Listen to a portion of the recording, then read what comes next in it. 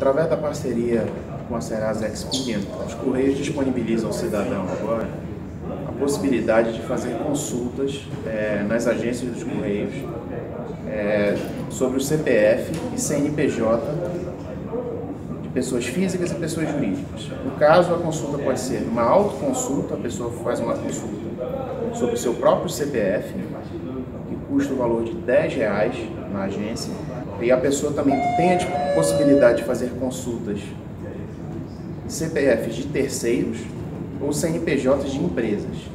No caso de CPF de terceiros, a consulta custa R$ 16,90.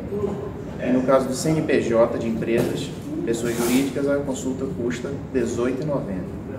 É, essa parceria Correios e Serasa Experian é, facilita a vida do cidadão, na medida em que, a partir de 31 de março, é, será possível realizar essas consultas nas 6.400 agências dos Correios em todo o país. Né?